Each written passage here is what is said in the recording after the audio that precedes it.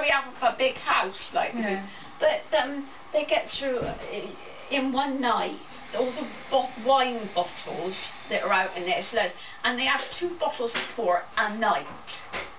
Mm. All right, You've got, to have dinner, you've got to have an after dinner port, haven't you? eh?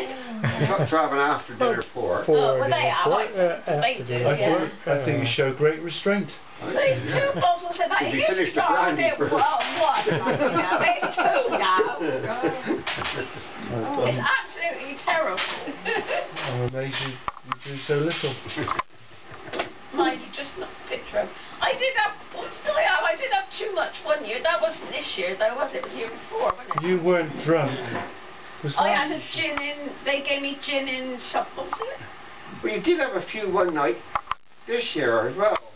You were trying to put your bra on Jerry, if you remember. Oh yeah, but I didn't know well what I was doing then. They're on there, aren't they? Or they should be. We well, we never did it.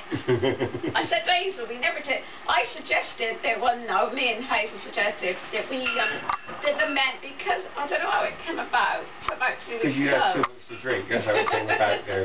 Hazel must have had twice as much as me because I don't drink that much.